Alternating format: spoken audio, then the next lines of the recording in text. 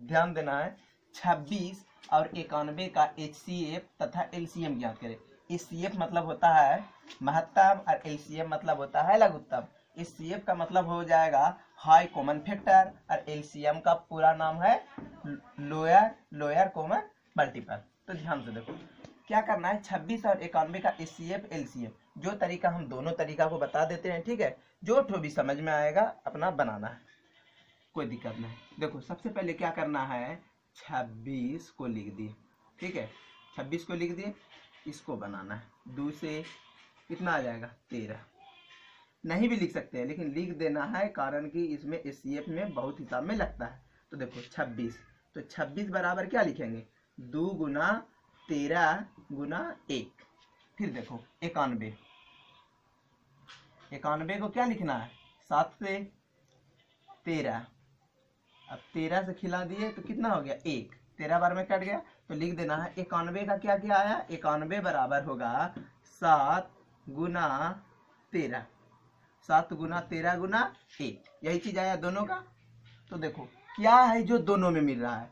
देखो, इसमें भी तेरह है, इसमें भी तेरह है। तो क्या हो जाएगा? दोनों में तेरह आ गया। तो लिखना है एच सी, एफ़ बराबर क्या हो गया? ए, सी, एफ़ बराबर तेरह। ए सी एफ़ बराबर क्या हो गया? तेरह। अब एलसीएम निकालना है। एल सी एम बराबर क्या हो जाएगा? दो गुना क्या हो गया? इसको लिख दिया दो गुना एगो किसको लिखना है? इधर वाला। सात गुना, ये दोनों में एगो लिखना है। काहे कि एसीएफ एक आया, दोनों का गोल घेरा लगा दिए। तो एगो लिखना है। गुना करेंगे तेरह सत्तर इक्यानवे दुना के एक सौ बेरासी।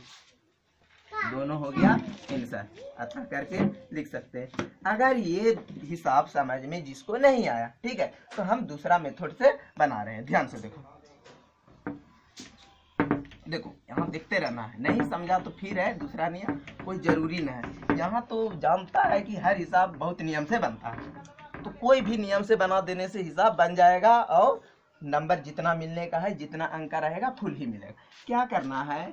छब्बीस को इधर लिख देना, जो बाड़ा है उसको बीच में लिखना है। छब्बीस, कितना बार में आएगा? छब्बीस के छब्बीस, दो बार में नहीं, तीन बार में। छब्बीस तिया अठहत्तर।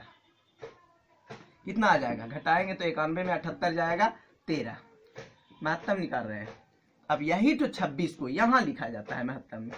तेरह दुना के, क्या होगा? छब्बीस। तेरह दुना के हो गया छब्बीस छः में छः गया, कटकुट। दो में दो गया कटकुट लिख दिए तो लिखना है, अतः एच सी एफ़ बराबर कितना आया? तेरह आंसर बोल रहा है, एलसीएम भी ज्ञात करे। तो एलसीएम निकालने का एक आसान सा तरीका हम बता देते हैं। क्या करना है? छब्बीस को इक्यानवे से गुना कर देना। छब्बीस गुना इक्यानवे। जो चीज़ प्रश्न में आए, छब्बीस गुना इक्यानवे कर दिए।